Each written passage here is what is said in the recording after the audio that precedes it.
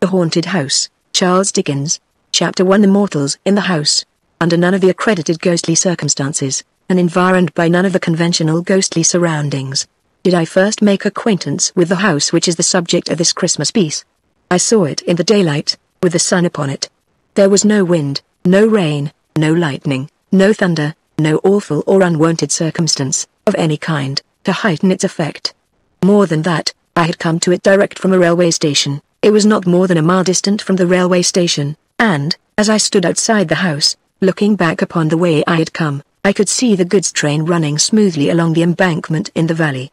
I will not say that everything was utterly commonplace, because I doubt if anything can be that, except to utterly commonplace people and there my vanity steps in, but, I will take it on myself to say that anybody might see the house as I saw it, any fine autumn morning. The manner of my lighting on it was this, I was travelling towards London out of the north, intending to stop by the way, to look at the house. My health required a temporary residence in the country, and a friend of mine who knew that, and who had happened to drive past the house, had written to me to suggest it as a likely place. I had got into the train at midnight, and had fallen asleep, and had woke up and had sat looking out of window at the brilliant northern lights in the sky, and had fallen asleep again, and had woke up again to find the night gone with the usual discontented conviction on me that I hadn't been to sleep at all semicolon upon which question, in the first imbecility of that condition, I am ashamed to believe that I would have done wager by battle with the man who sat opposite me. That opposite man had had, through the night as that opposite man always has several legs too many, and all them too long. In addition to this unreasonable conduct, which was only to be expected of him, he had had a pencil and a pocket-book, and had been perpetually listening and taking notes. It had appeared to me that these aggravating notes related to the jolts and bumps of the carriage, and I should have resigned myself to his taking them, under a general supposition that he was in the civil engineering way of life, if he had not sat staring straight over my head whenever he listened.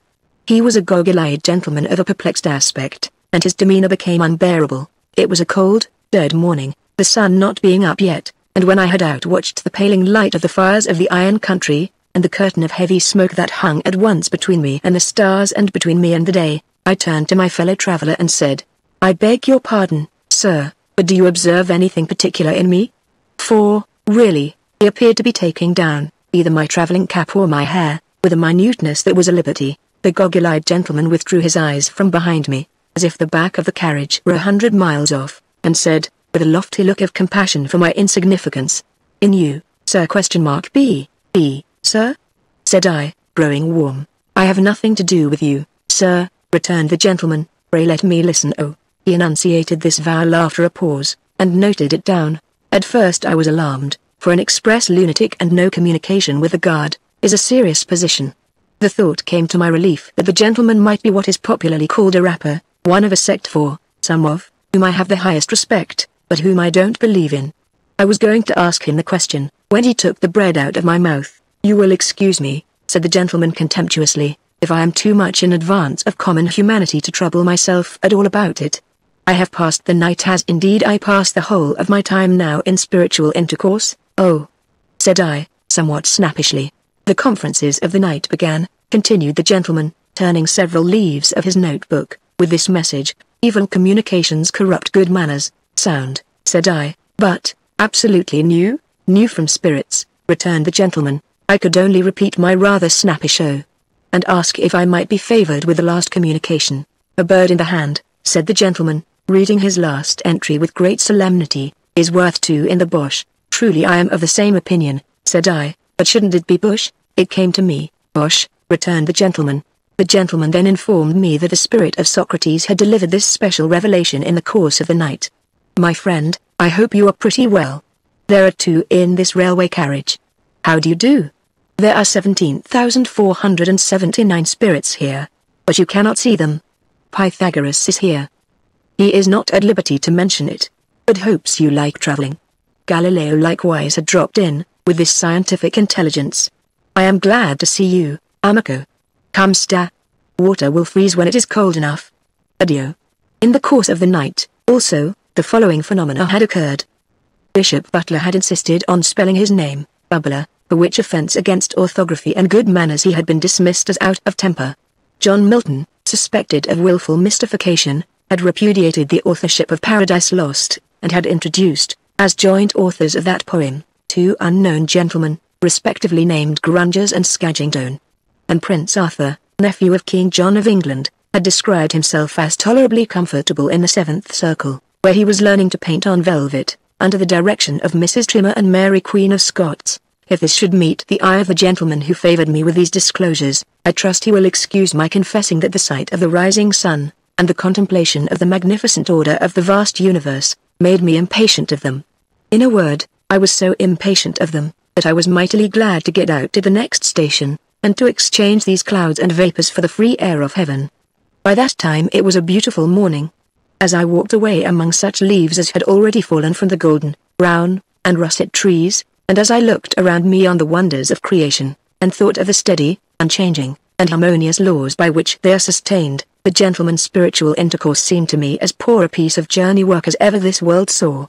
In which he in state of mind, I came within view of the house, and stopped to examine it attentively. It was a solitary house, standing in a sadly neglected garden, a pretty even square of some two acres. It was a house of about the time of George II, as stiff, as cold, as formal, and in as bad taste, as could possibly be desired by the most loyal admirer of the whole quartet of Georges. It was uninhabited, but had, within a year or two, been cheaply repaired to render it habitable. I say cheaply, because the work had been done in a surface manner, and was already decaying as to the paint and plaster, though the colors were fresh. A lopsided board drooped over the garden wall, announcing that it was to let on very reasonable terms, well furnished. It was much too closely and heavily shadowed by trees, and, in particular, there were six tall poplars before the front windows, which were excessively melancholy, and the site of which had been extremely ill chosen.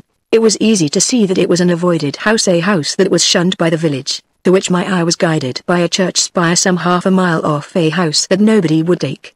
And the natural inference was, that it had the reputation of being a haunted house. No period within the four and twenty hours of day and night is so solemn to me, as the early morning. In the summertime, I often rise very early, and repair to my room to do a day's work before breakfast, and I am always on those occasions deeply impressed by the stillness and solitude around me. Besides that there is something awful in the being surrounded by familiar faces asleep in the knowledge that those who are dearest to us and to whom we are dearest, are profoundly unconscious of us, in an impassive state, anticipative of that mysterious condition to which we are all tending the stopped life, the broken threads of yesterday, the deserted seat, the closed book, the unfinished but abandoned occupation, all are images of death. The tranquility of the hour is the tranquility of death. The color and the chill have the same association even a certain air that familiar household objects take upon them when they first emerge from the shadows of the night into the morning, of being newer, and as they used to be long ago, as its counterpart in the subsidence of the worn face of maturity or age, in death, into the old youthful look. Moreover, I once saw the apparition of my father, at this hour. He was alive and well, and nothing ever came of it, but I saw him in the daylight, sitting with his back towards me, on a seat that stood beside my bed. His head was resting on his hand, and whether he was slumbering or grieving, I could not discern. Amazed to see him there, I sat up, moved my position, leaned out of bed, and watched him. As he did not move, I spoke to him more than once. As he did not move then, I became alarmed and laid my hand upon his shoulder, as I thought and there was no such thing. For all these reasons, and for others less easily and briefly stateable, I find the early morning to be my most ghostly time. Any house would be more or less haunted, to me, in the early morning, and a haunted house could scarcely address me to greater advantage than then.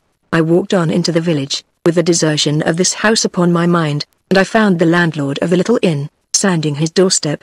I bespoke breakfast, and broached the subject of the house. Is it haunted? I asked. The landlord looked at me, shook his head, and answered, I say nothing. Then it is haunted? Well, cried the landlord, in an outburst of frankness that had the appearance of desperation I wouldn't sleep in it. Why not? If I wanted to have all the bells in a house ring, with nobody to ring em, and all the doors in a house bang, with nobody to bang em, and all sorts of feet treading about, with no feet there, why, then, said the landlord, I'd sleep in that house. Is anything seen there? The landlord looked at me again, and then, with his former appearance of desperation, pulled down his stable-yard frikey. The call produced a high-shouldered young fellow, with a round red face, a short crop of sandy hair, a very broad humorous mouth, a turned-up nose, and a great-sleeved waistcoat of purple bars, with mother-of-pearl buttons, that seemed to be growing upon him. and to be in a fair way if it were not pruned of covering his head and overrunning his boots. This gentleman wants to know, said the landlord, if anything's seen at the poplars. A hooded woman with a howl, said Ike, in a state of great freshness. Do you mean a cry? I mean a bird, sir. A hooded woman with an owl. Dear me. Did you ever see her? I seen the howl, never the woman, not so plain as the howl, but they always keeps together. Has anybody ever seen the woman as plainly as the owl? Lord bless you, sir. Lots. Who? Lord bless you, sir. Lots. The general dealer opposite, for instance, who is opening his shop. Perkins? Bless you, Perkins wouldn't go a neither place. No. Observed the young man, with considerable feeling, he ain't overwise, and Perkins, but he ain't such a fool as that. Here, the landlord murmured his confidence in Perkins's knowing better. Who is or who was the hooded woman with the owl? Do you know? Well, said Ike, holding up his cap with one hand while he scratched his head with the other, they say, in general, that she was murdered, the howl he waited the while. This very concise summary of the facts was all I could learn, except that a young man, as hearty and likely a young man as ever I see, had been took with fits and held down in M, after seeing the hooded woman. Also, that a personage, dimly described as a old chap, a sort of one-eyed tramp, answering to the name of Joby, unless you challenged him as Greenwood, and then he said, why not? And even if so, mind your own business, had encountered the hooded woman, a matter of five or six times. But, I was not materially assisted by these witnesses, inasmuch as the first was in California, and the last was, as Ike said, and he was confirmed by the landlord, anywheres.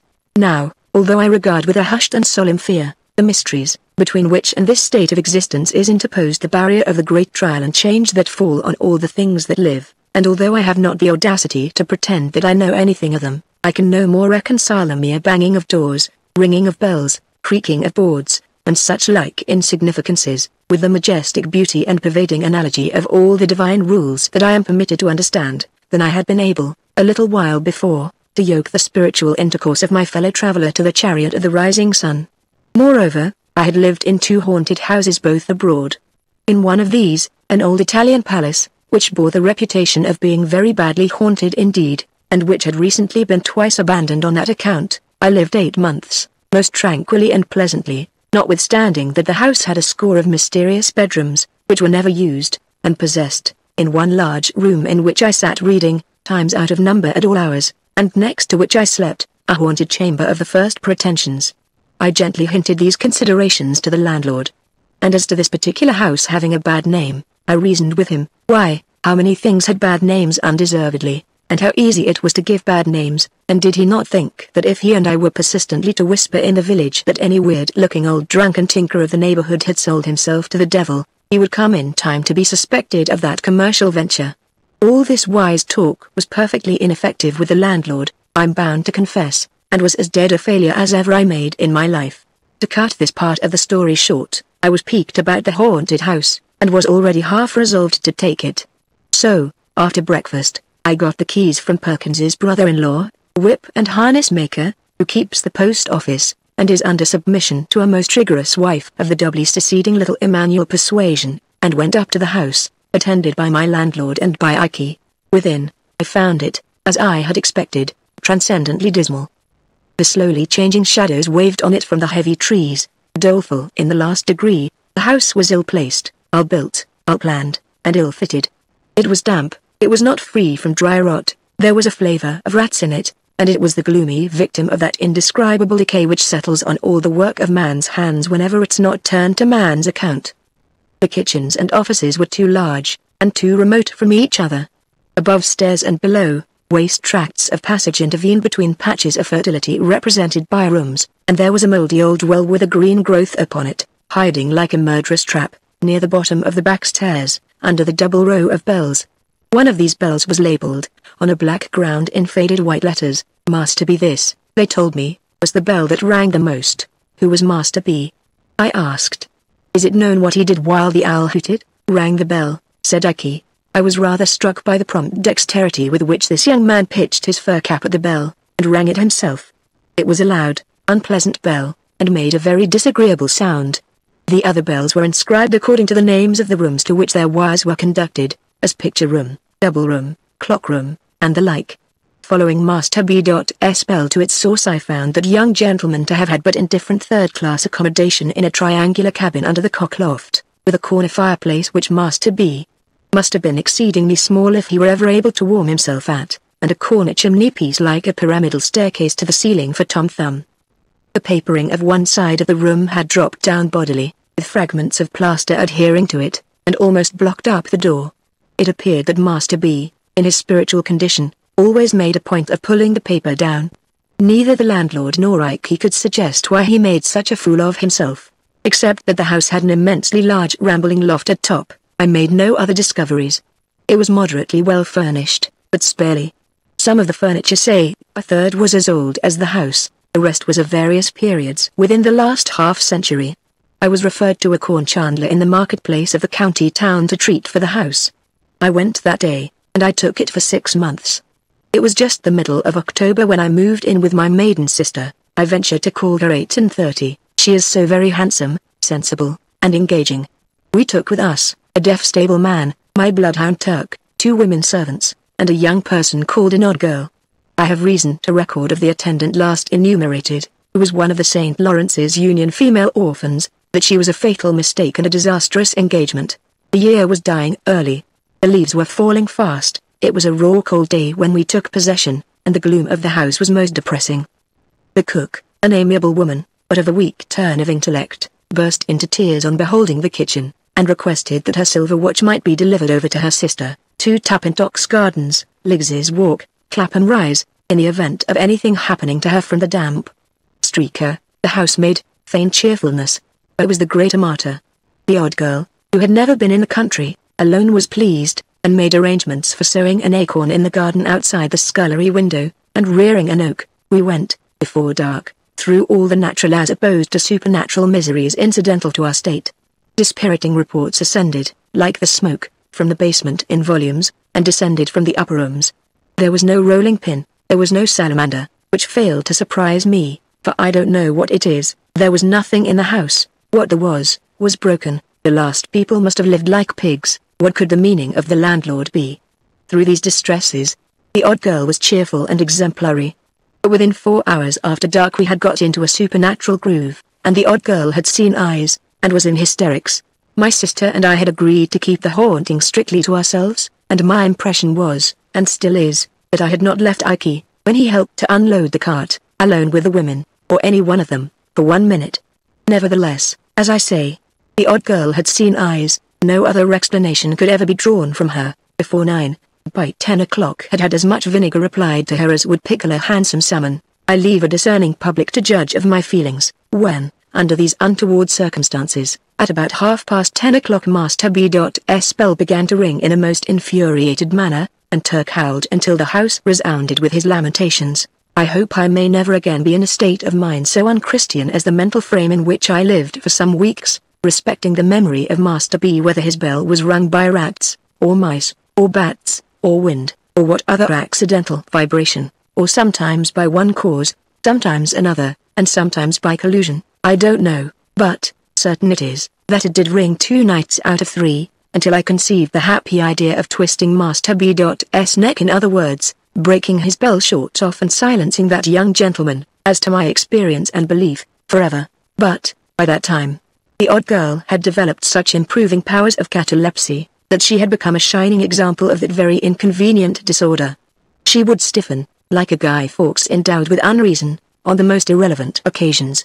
I would address the servants in a lucid manner, pointing out to them that I had painted Master B.'s room and balked the paper, and taken Master B.'s bell away and balked the ringing, and if they could suppose that that confounded boy had lived and died, to clothe himself with no better behavior than would most unquestionably have brought him and the sharpest particles of a birch broom into close acquaintance in the present imperfect state of existence, could they also suppose a mere poor human being, such as I was, capable by those contemptible means of counteracting and limiting the powers of the disembodied spirits of the dead, or of any spirits question mark I say I would become emphatic and cogent, not to say rather complacent, in such an address, and it would all go for nothing by reason of the odd girl's suddenly stiffening from the toes upward, and glaring among us like a parochial petrifaction. Streaker, the housemaid, too, had an attribute of a most discomforting nature.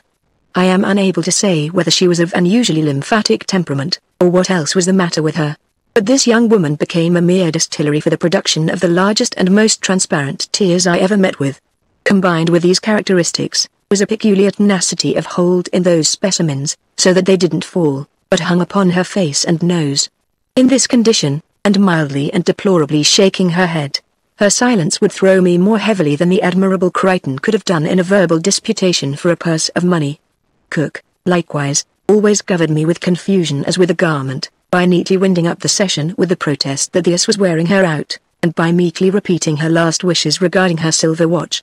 As to our nightly life, the contagion of suspicion and fear was among us, and there is no such contagion under the sky. Hooded woman? According to the accounts, we were in a perfect convent of hooded women. Noises? With that contagion downstairs, I myself have sat in the dismal parlor, listening, until I have heard so many and such strange noises, that they would have chilled my blood if I had not warmed it by dashing out to make discoveries. Try this in bed, in the dead of the night, try this at your own comfortable fireside, in the life of the night. You can fill any house with noises, if you will, until you have a noise for every nerve in your nervous system. I repeat, the contagion of suspicion and fear was among us, and there is no such contagion under the sky. The women, their noses in a chronic state of excoriation from smelling salts, were always primed and loaded for a swoon, and ready to go off with hair triggers. The two elder detached the odd girl on all expeditions that were considered doubly hazardous, and she always established the reputation of such adventures by coming back cataleptic.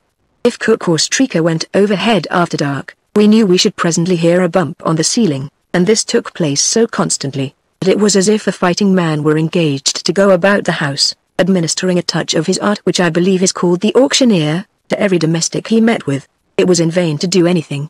It was in vain to be frightened, for the moment in one's own person, by a real owl, and then to show the owl. It was in vain to discover, by striking an accidental discord on the piano, that Turk always howled at particular notes and combinations. It was in vain to be a rhadamanthus with the bells, and if an unfortunate bell rang without leave, to have it down inexorably and silence it.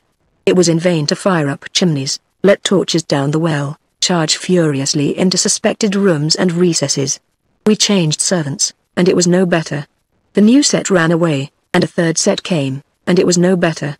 At last, our comfortable housekeeping got to be so disorganized and wretched, that I one night dejectedly said to my sister, Patty, I begin to despair of our getting people to go on with us here, and I think we must give this up. My sister, who is a woman of immense spirit, replied, No, John, don't give it up.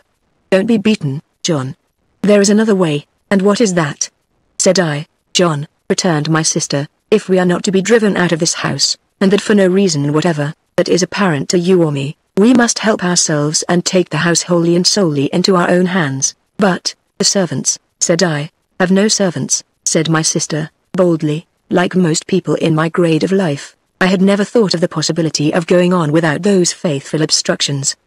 The notion was so new to me when suggested, that I looked very doubtful. We know they come here to be frightened and infect one another, and we know they are frightened and do infect one another, said my sister, with the exception of Bottles, I observed, in a meditative tone, a deaf stable man. I kept him in my service, and still keep him, as a phenomenon of moroseness not to be matched in England, to be sure. John, assented my sister, except Bottles. And what does that go to prove? Bottles talks to nobody, and hears nobody unless he is absolutely roared at, and what alarm has Bottles ever given, or taken? None. This was perfectly true, the individual in question having retired, every night at ten o'clock, to his bed over the coach house, with no other company than a pitchfork and a pail of water. That the pail of water would have been over me, and the pitchfork through me, if I had put myself without announcement in Bottles's way after that minute, I had deposited in my own mind as a fact worth remembering. Neither had Bottles ever taken the least notice of any of our many uproars. An imperturbable and speechless man. He had sat at his supper, with Streaker present in a swoon, and the odd girl Marble, and had only put another potato in his cheek, or profited by the general misery to help himself to beefsteak pie, and so, continued my sister, I exempt Bottles.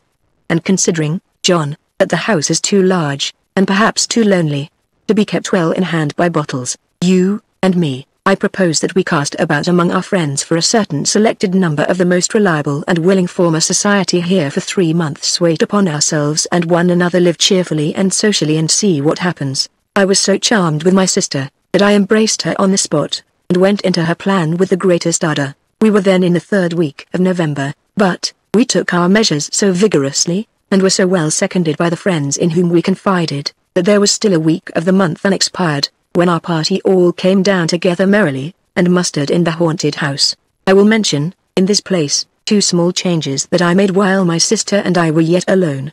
It occurring to me as not improbable that Turk howled in the house at night, partly because he wanted to get out of it, I stationed him in his kennel outside, but unchained, and I seriously warned the village that any man who came in his way must not expect to leave him without rip in his own throat. I then casually asked Ike if he were a judge of a gun, on his saying, Yes, sir, I knows a good gun when I sees her, I begged the favor of his stepping up to the house and looking at mine. She's a true one, sir, said Ike, after inspecting a double-barreled rifle that I bought in New York a few years ago.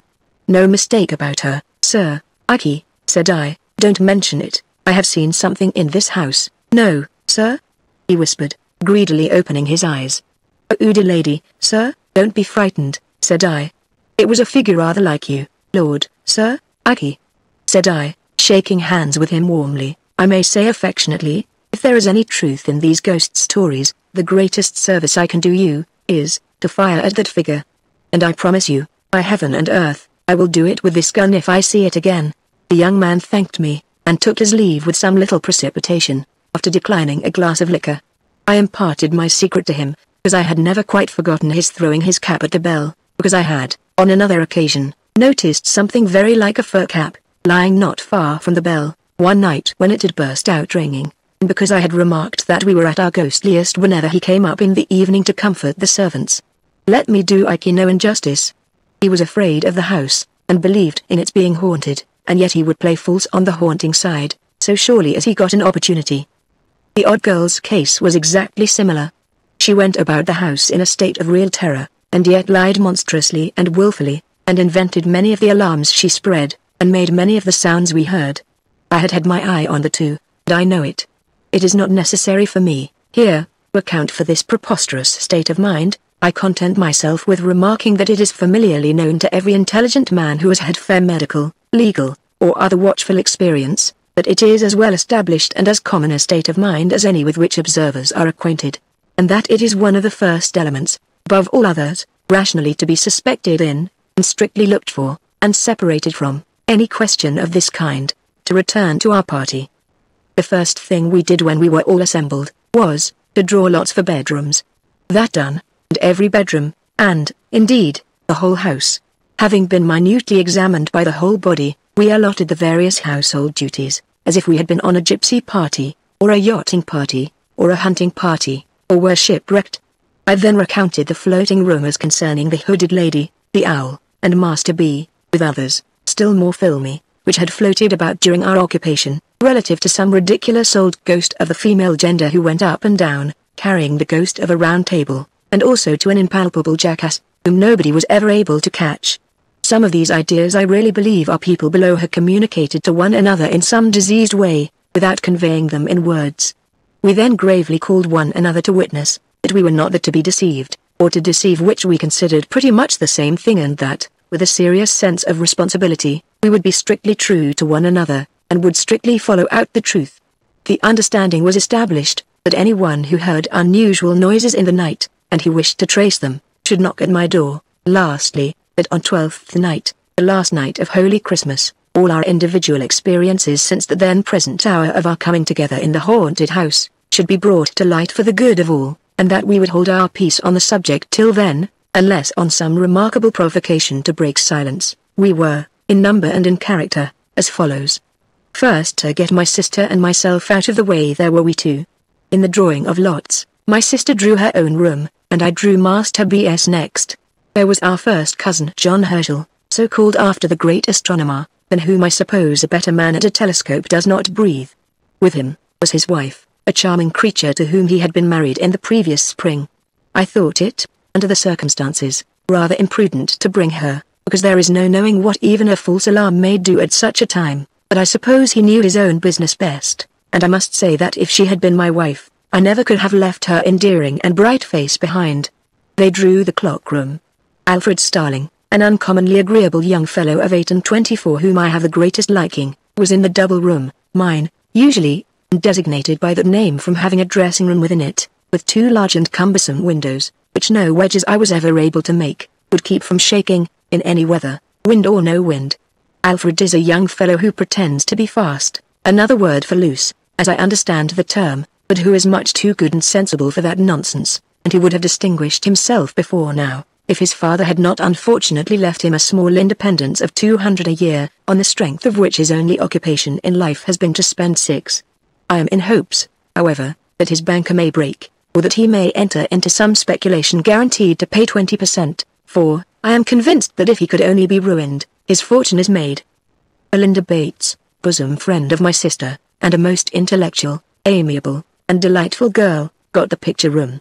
She has a fine genius for poetry, combined with real business earnestness, and goes in to use an expression of Alfred's for woman's mission, woman's rights, woman's wrongs, and everything that is woman's with a capital W, or is not and ought to be, or is and ought not to be. Most praiseworthy, my dear, and heaven prosper you. I whispered to her on the first night of my taking leave of her at the picture room door, but don't overdo it.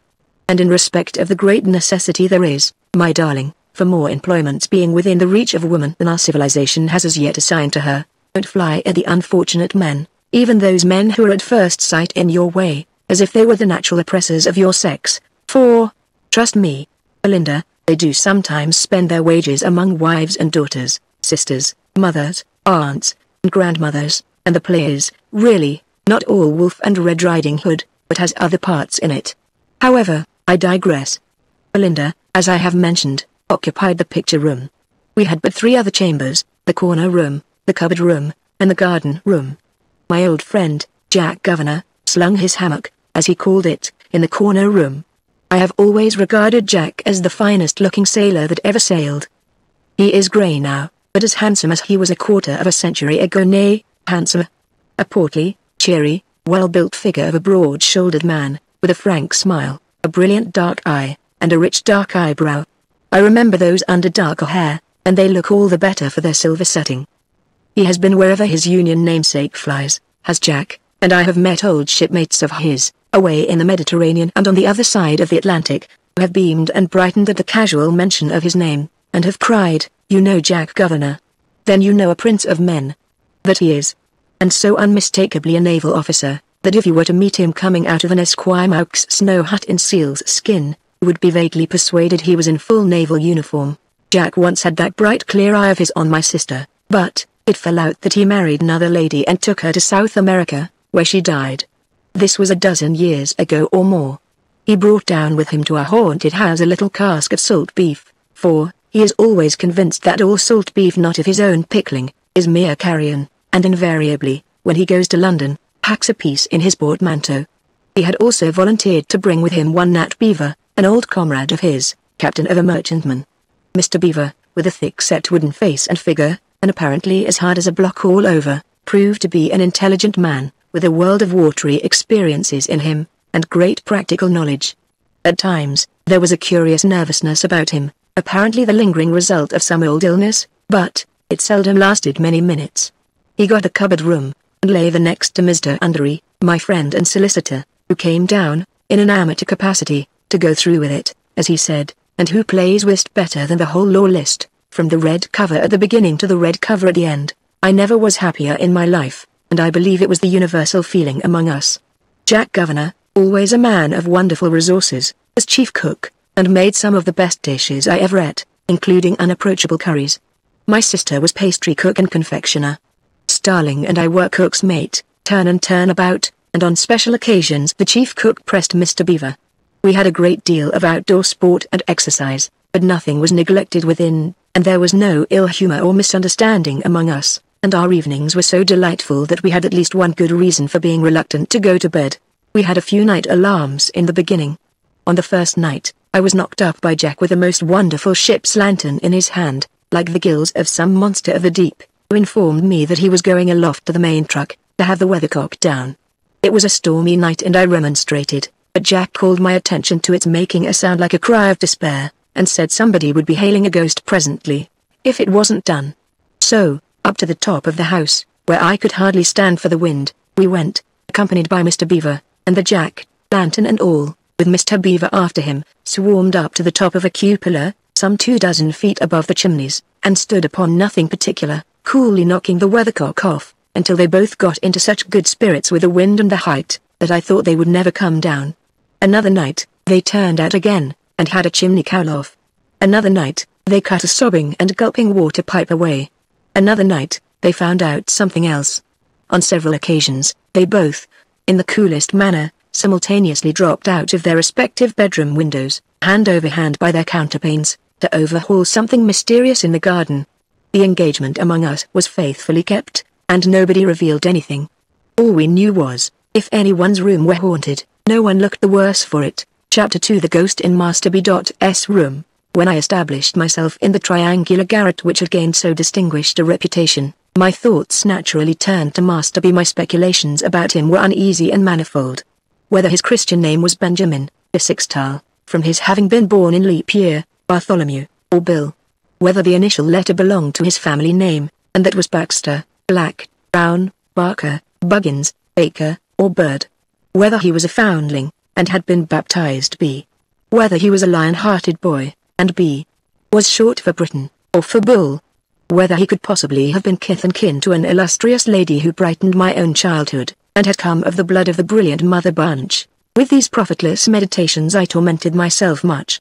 I also carried the mysterious letter into the appearance and pursuits of the deceased, wondering whether he dressed in blue, wore boots, he couldn't have been bald, was a boy of brains, liked books, was good at bowling, had any skill as a boxer, even in his buoyant boyhood bathed from a bathing machine at Bognor, Bangor, Bournemouth, Brighton, or Broadstairs, like a bounding billiard ball, so, from the first, I was haunted by the letter B. It was not long before I remarked that I never by any hazard had a dream of Master B, or of anything belonging to him. But, the instant I woke from sleep, at whatever hour of the night, my thoughts took him up, and roamed away, trying to attach his initial letter to something that would fit it and keep it quiet. For six nights, I had been worried this in Master B.S. room, when I began to perceive that things were going wrong. The first appearance that presented itself was early in the morning when it was but just daylight and no more. I was standing shaving at my glass, when I suddenly discovered, to my consternation and amazement, that I was shaving not myself I am fifty but a boy. Apparently Master B. I trembled and looked over at my shoulder, nothing there. I looked again in the glass, and distinctly saw the features and expression of a boy, who was shaving, not to get rid of a beard, but to get one. Extremely troubled in my mind, I took a few turns in the room, and went back to the looking glass, resolved to steady my hand and complete the operation in which I had been disturbed. Opening my eyes, which I had shut while recovering my firmness, I now met in the glass, looking straight at me, the eyes of a young man of four or five and twenty. Terrified by this new ghost, I closed my eyes, and made a strong effort to recover myself. Opening them again, I saw, shaving his cheek in the glass, my father, who has long been dead. Nay, I even saw my grandfather too, whom I never did see in my life. Although naturally much affected by these remarkable visitations, I determined to keep my secret, until the time agreed upon for the present general disclosure. Agitated by a multitude of curious thoughts, I retired to my room, that night, prepared to encounter some new experience of a spectral character. Nor was my preparation needless, for, waking from an uneasy sleep at exactly two o'clock in the morning, what were my feelings to find that I was sharing my bed with the skeleton of Master B? I sprang up, and the skeleton sprang up also. I then heard a plaintive voice saying, Where am I? What has become of me? And, looking hard in that direction, perceived the ghost of Master B. The young spectre was dressed in an obsolete fashion, or rather, was not so much dressed as put into a case of inferior pepper and salt cloth, made horrible by means of shining buttons. I observed that these buttons went, in a double row, over each shoulder of the young ghost, and appeared to descend his back. He wore a frill round his neck. His right hand, which I distinctly noticed to be inky, was laid upon his stomach, connecting this action with some feeble pimples on his countenance, and his general air of nausea, I concluded this ghost to be the ghost of a boy who had habitually taken a great deal too much medicine. Where am I? said the little spectre, in a pathetic voice. And why was I born in the Calomel days? And why did I have all that Calomel given me? I replied, with sincere earnestness, but upon my soul I couldn't tell him. Where is my little sister? said the ghost, and where my angelic little wife, and where is the boy I went to school with? I entreated the phantom to be comforted, and above all things to take heart respecting the loss of the boy he went to school with. I represented to him that probably that boy never did, within human experience, come out well, when discovered. I urged that I myself had, in later life, turned up several boys whom I went to school with, and none of them had at all answered. I expressed my humble belief that that boy never did answer. I represented that he was a mythic character, a delusion, and a snare. I recounted how, the last time I found him, I found him at a dinner party behind a wall of white cravat, with an inconclusive opinion on every possible subject, and a power of silent boredom absolutely titanic. I related how, on the strength of our having been together at Old Doylance's, he had asked himself to breakfast with me, a social offence of the largest magnitude, how, fanning my weak embers of belief in Doylance's boys, I had let him in, and how, he had proved to be a fearful wanderer about the earth, pursuing the race of Adam with inexplicable notions concerning the currency, and with a proposition that the Bank of England should, on pain of being abolished, instantly strike off and circulate, God knows how many thousand millions of ten and sixpenny notes. The ghost heard me in silence, and with a fixed stare. Barber. It apostrophized me when I had finished. Barber? I repeated for I am not of that profession, condemned, said the ghost, to shave a constant change of customers now, me now, a young man now, thyself as thou art now, thy father now, thy grandfather, condemned, to, to lie down with a skeleton every night, and to rise with it every morning. I shuddered on hearing this dismal announcement, Barber. Pursue me, I had felt, even before the words were uttered, that I was under a spell to pursue the phantom. I immediately did so, and was in Master B.S. room no longer. Most people know what long and fatiguing night journeys had been forced upon the witches who used to confess, and who, no doubt, told the exact truth particularly as they were always assisted with leading questions, and the torture was always ready.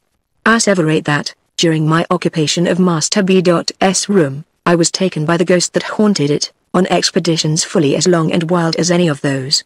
Assuredly, I was presented to no shabby old man with a goat's horns and tail, something between Pan and an old clothesman, holding conventional receptions, as stupid as those of real life and less decent, but, I came upon other things which appeared to me to have more meaning.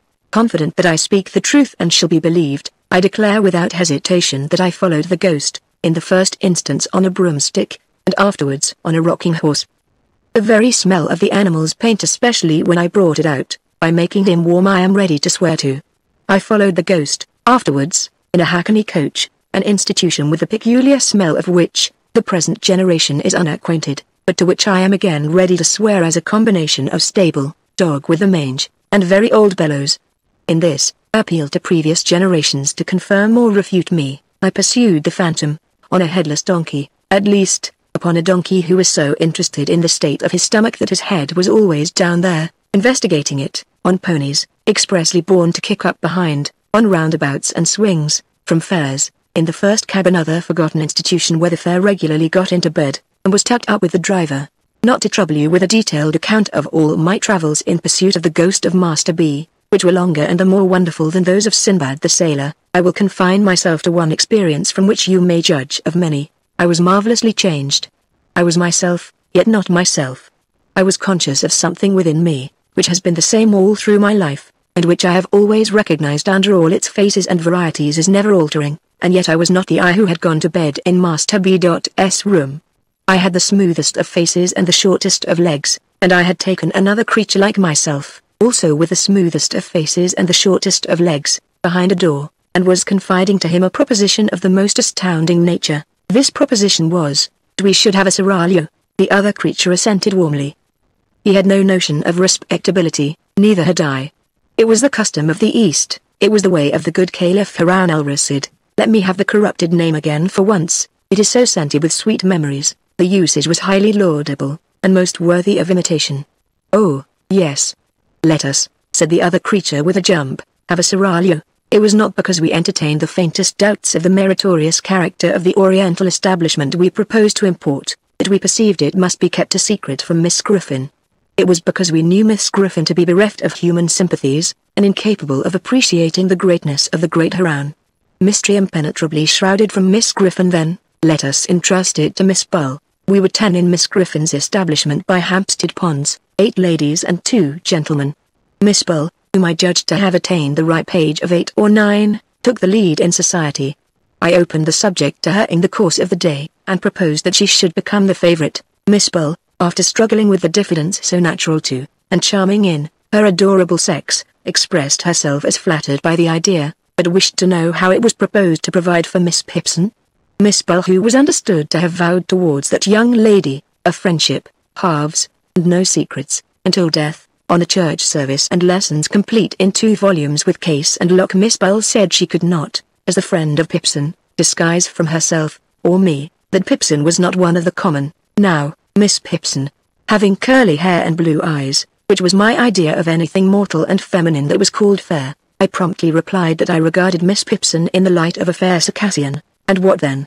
Miss Bull pensively asked. I replied that she must be inveigled by a merchant, brought to me veiled, and purchased as a slave. The other creature had already fallen into the second male place in the state, and was set apart for Grand Vizier.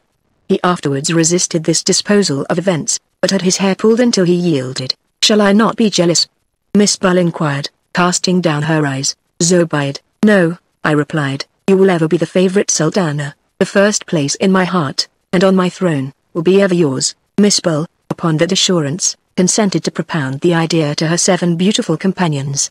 It occurring to me, in the course of the same day, that we knew we could trust a grinning and good-natured soul called Tabby, who was the serving drudge of the house, and had no more figure than one of the beds, and upon whose face there was always more or less black lead. I slipped into Miss Bull's hand after supper, a little note to that effect, dwelling on the black lead as being in a manner deposited by the finger of Providence, pointing Tabby out for Mesrour, the celebrated chief of the blacks of the harem.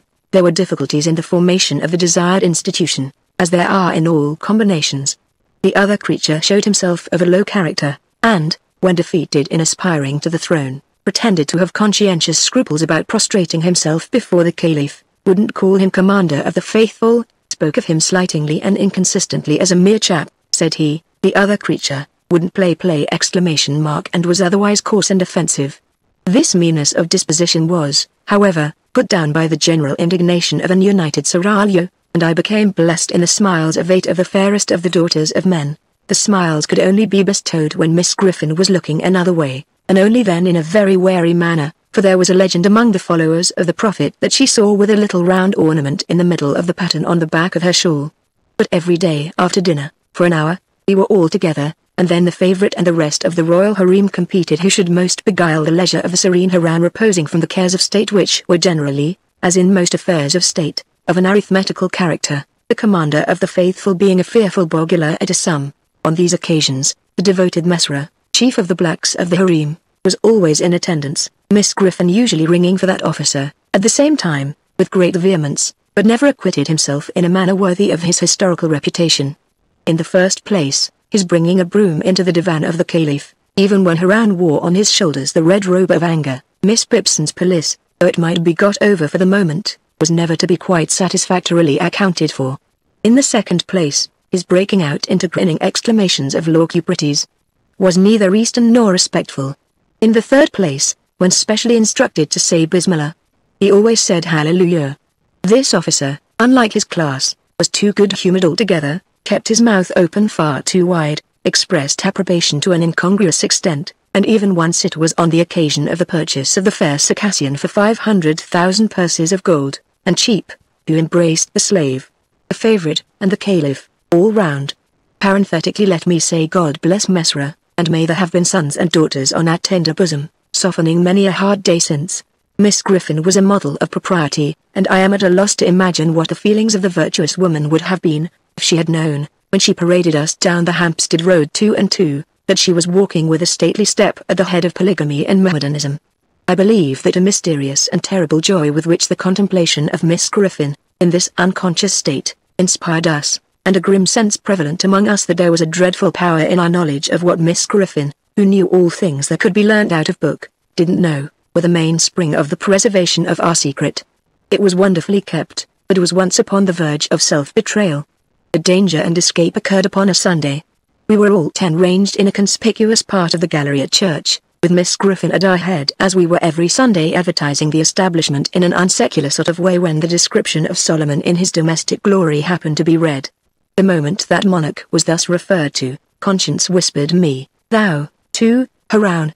The officiating minister had a cast in his eye, and it assisted conscience by giving him the appearance of reading personally at me. A crimson blush, attended by a fearful perspiration, suffused my features.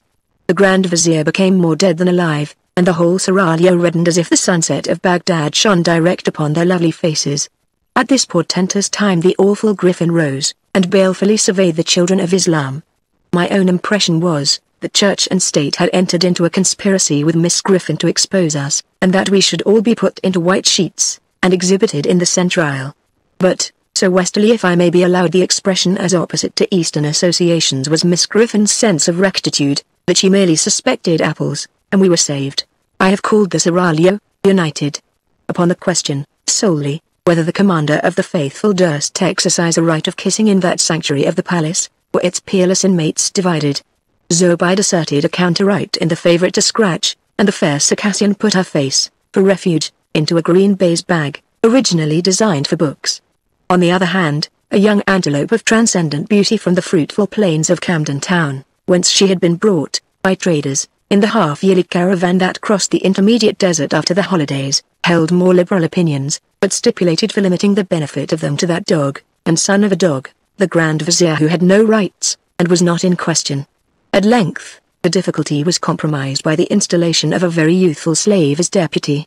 She, raised upon a stool, officially received upon her cheeks the salutes intended by the gracious Haroun for other sultanas, and was privately rewarded from the coffers of the ladies of the harem. And now it was, at the full height of enjoyment of my bliss, that I became heavily troubled.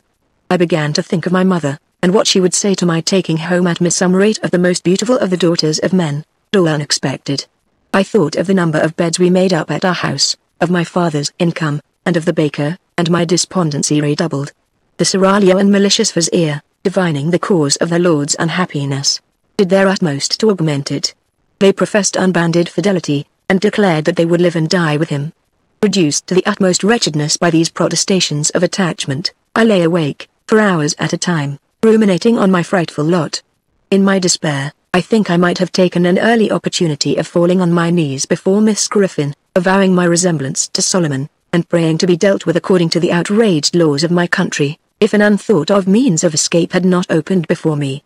One day, we were out walking, two and two on which occasion the vizier had his usual instructions to take note of a boy at the turnpike, and if he profanely gazed, which he always did, at the beauties of the harem, to have him both strung in the course of the night and it happened that our hearts were veiled in gloom.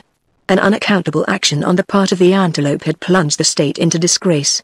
That charmer, on the representation that the previous day was her birthday, and that vast treasures had been sent in a hamper for its celebration, both baseless assertions, had secretly but most pressingly invited 35 neighboring princes and princesses to a ball and supper, with a special stipulation that they were not to be fetched till twelve. This wandering of the antelope's fancy, led to the surprising arrival at Miss Griffin's door, in divers equipages and under various escorts, of a great company in full dress, who were deposited on the top step in a flush of high expectancy, and who were dismissed in tears. At the beginning of the double knocks attendant on these ceremonies, the antelope had retired to a back attic, and bolted herself in, and at every new arrival, Miss Griffin had gone so much more and more distracted, that at last she had been seen to tear her front. Ultimate capitulation on the part of the offender, had been followed by solitude in the linen closet, bread and water and a lecture to all, of vindictive length, in which Miss Griffin had used expressions, firstly, I believe you all of you knew of it, secondly, every one of you is as wicked as another, thirdly, a pack of little wretches, under these circumstances, we were walking drearily along, and I especially, with my Musulman responsibilities heavy on me, was in a very low state of mind, when a strange man accosted Miss Griffin, and, after walking on at her side for a little while and talking with her, looked at me.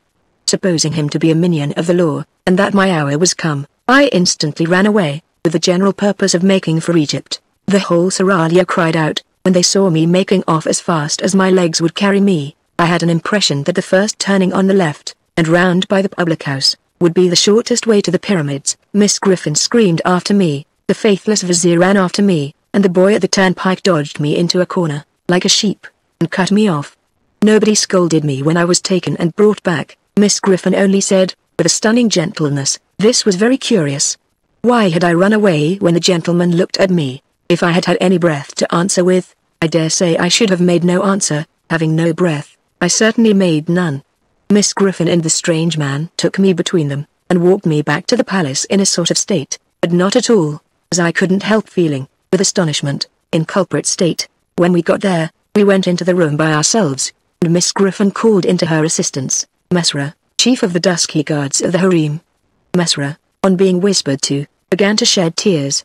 Bless you, my precious, said that officer, turning to me, your past took bitter bad, I asked, with a fluttered heart, is he very ill, Lord temper the wind to you, my lamb, said the good Mesrour, kneeling down, that I might have a comforting shoulder for my head to rest on, your pa's dead, Harun al-Rashid took to flight at the words, the Seraglio vanished, from that moment, I never again saw one of the eight of the fairest of the daughters of men. I was taken home, and there was debt at home as well as death, and we had a sale there.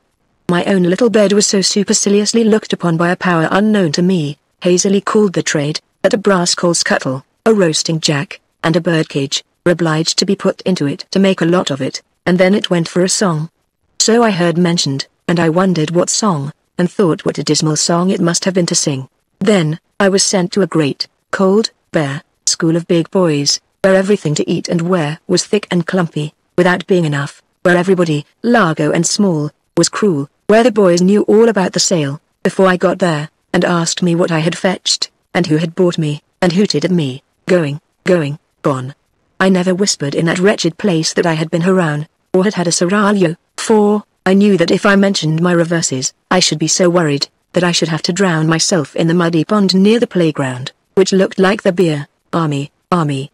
No other ghost has haunted the boys' room, my friends, since I have occupied it, the ghost of my own childhood, the ghost of my own innocence, the ghost of my own airy belief.